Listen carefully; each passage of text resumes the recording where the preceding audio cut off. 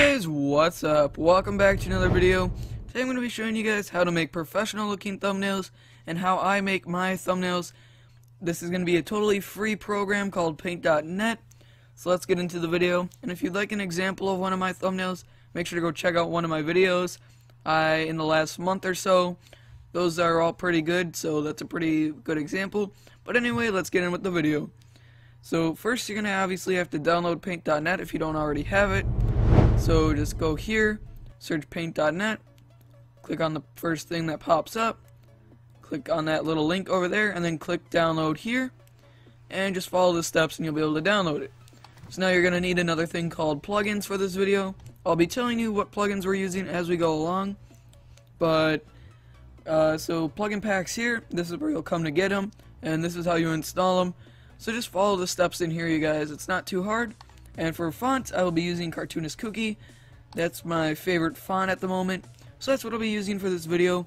And we're going to actually be making the thumbnail for this video. So it's kind of like Inception or something. But anyway, let's open up paint.net. And as you guys can see, I already have a couple photos open. Those are just for things we'll be using in the video. So I'm going to use a 1080p image, which is 1920 for the width, and 1080 for the height. But before we get into that, you're going to want a grunge background. Just search that in Google Images and find one that you like. Doesn't really matter what color it is. I like this one. It looks pretty cool with all the cuts and the dark black and stuff. And I'm also going to be using the Paint.net logo, which I also got off of Google Images. So nothing too important there. Obviously this would work for anything you guys are going to do. And I'll be showing you some stuff that you wouldn't be able to do or we won't be using for the thumbnail that we will be using for your images or whatever you want to do with this video. So basically, I'm going to be making this thumbnail, so let's get into this. So I, as you guys can see, I added a new layer by going here. I'm going to click back on the background layer, and I'm going to use the gradient tool right over here. This will make it so it can blend colors like that, or something like that. So let's undo that. And to get your color wheel to pop up, just click over here. So I'm going to be using a gray and white for my background. So I'm going to flip them around like so, just clicking on this little thing here. And I'm going to go look for the middle with the radial tool. And just, doesn't really matter where the middle is, you guys. Just place it somewhere. You won't be able to tell in the thumbnail where the middle is, so it's not really too important if it's exactly in the middle or not. Just whatever looks good to the eye, you guys. So now you did that, I'm going to obviously go to my next layer, and this I'm going to start adding text. So I'm going to have my thumbnail say, custom thumbnail tutorial with the paint.net logo. So let's get into it. So I'm going to get to my text selector, cartoonist. I'm going to actually make my font 220 and let's go like so. So custom and then I'm going to hit enter, thumbnail. And as you guys can see, I did spell it correctly. I've actually had thumbnails where I've spelled stuff wrong. You guys might have not have noticed, but I'm just not paying attention when I'm typing them. So that can be a problem sometimes. So now what you guys are going to want to do is you're going to want to get it to however close to the edge you want it at the top or whatever text you're using. So I'm going to say it's right about there is good. So control A. So the first plugin we're going to be using you guys is Align Object which is all the way at the bottom here. And you're going to click it. We're going to go horizontal and that just makes it so that it's the same distance from either edge and then you're going to go up here where it says deselect, click that, and now as you guys can see, we can barely see the word thumbnail because it is in the middle of the white. So what we're going to want to do is go to your magic wand tool over here, go control, click on all of these, and then what you're going to want to do is make sure you have it at 69% already, or just turn it up to 69% when you're done. So then you're going to go back to our gradient, we're going to click on linear, and I'm gonna for the first colors I'm gonna be using yellow and a bright green color to make it kind of pop. And as you guys can see it became dark green.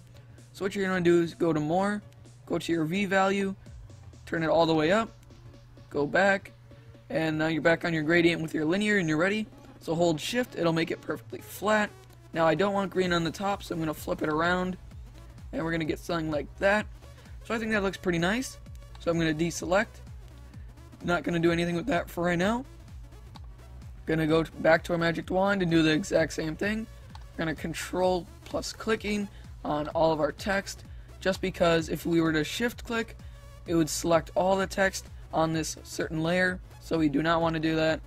So I think what I'm going to go with now is a light blue and a dark blue. I think that'll look nice.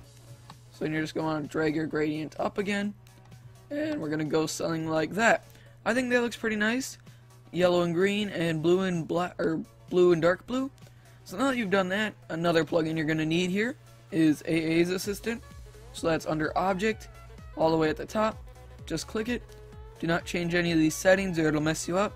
Just click OK. And now that you've did that, you probably won't notice it change, but in the end it'll help you out. So just Magic Wand again. We're going to go Shift click on the background. Same layer, just on the background. We're going to go to Effects. Another plugin you're going to need, Object Outline. So you're going to go down to Object, click on Object Outline. Now as you guys can see, it just automatically added a little blue border for us. Now as you guys can see, it doesn't really make it pop out too much. But so to make it really pop out in the thumbnails and stand out from everyone else's, we're going to go dark black all the way up on the radius. And the strength we're going to set to 6. Click OK. And as you guys can see, that makes it really pop out. And if you zoom out, it'll make it very visible from a far distance. So that's what you really want in your thumbnails when they're down at the small size to be able to still be seen. So now let's zoom back in here. Okay, so now we have custom thumbnail. Now we just need tutorial and the paint logo. But before we do that, we're going to go over to our grunge background or whatever background you may have chosen. We're going to go control C. We're going to go back to our thing.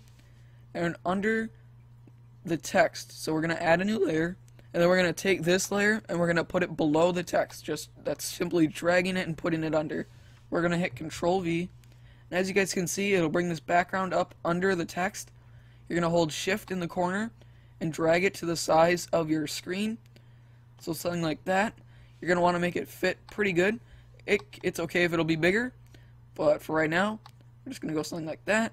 I'm going to just drag this in here. So as you guys can see now, we cannot see our background at all. It's just this weird gray cut up thing. So you're going to want to click deselect. Now on the layer that it's on, double click. Go to the opacity and turn it down until you can start to see your background again. So something like I would recommend usually about 80 is what I normally do. Because as you guys can see, it gives us the nice little black around the edges still. Gives us some cuts, but doesn't make it look like totally distracting from the text. So now go back up to your other layer, click add layer. Now let's say for example I deleted my text on accident. Like oops I deleted my text, what do I do? Just go back to the undo and it'll bring it back for you guys. So now go to your top layer, text, and we're going to go to tutorial. I don't know why I clicked that again, that was on accident. So type your text, tutorial, now we're going to want to do the same thing. Make sure it's not touching. Control A it. Now we're going to go to Object Align. It does take a while to bring up your plugins pack. This computer that I'm on right now has only 4 gigs of RAM, and I know RAM's not everything. But it does make it a little bit slower if you don't have that much RAM. So now what you're going to want to do is go like that, deselect. You're gonna, you can shift click on this one since there's only one word and not two. So just click on a letter and hold shift make sure it's on 69%. And now you probably don't want to use blue again or green again because it looked just kind of weird. So you're going to have to find some new colors. I'm going to be using orange and yellow. And I'll give you guys a little bit of a tip here.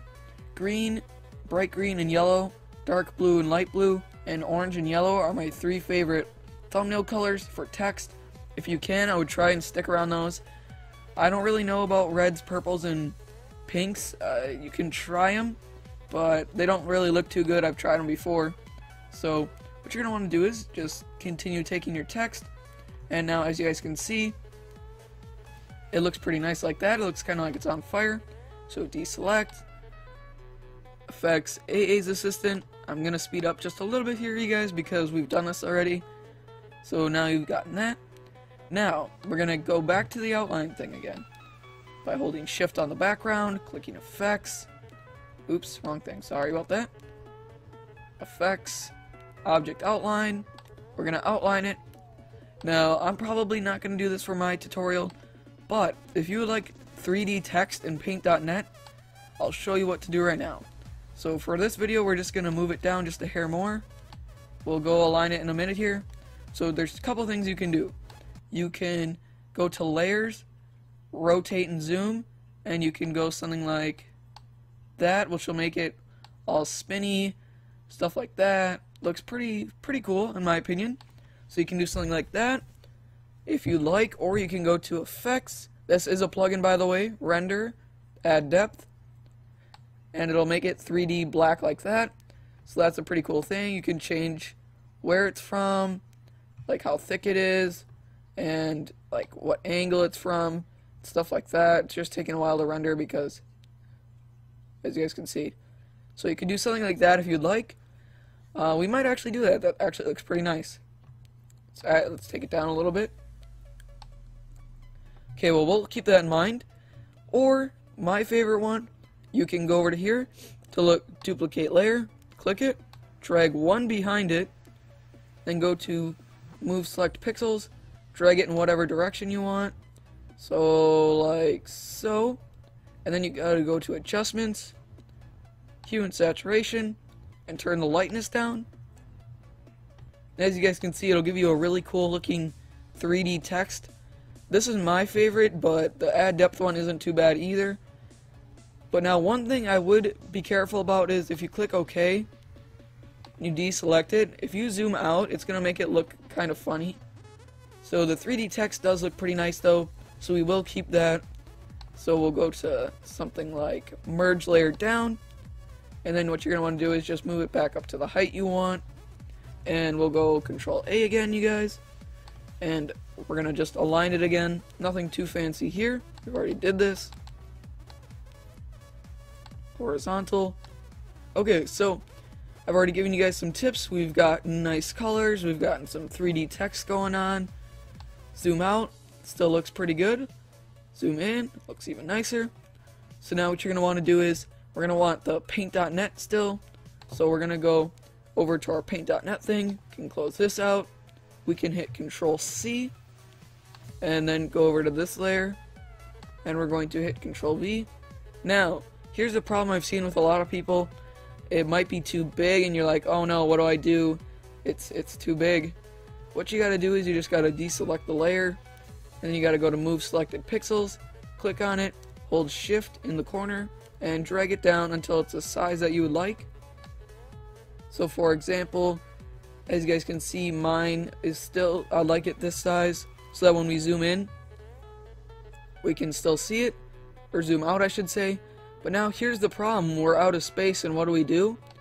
So what you guys are just going to want to do is if you run out of space, just move your text a little bit closer to itself, like so. And then we can also go back to our paint. And we can just make it just a hair smaller.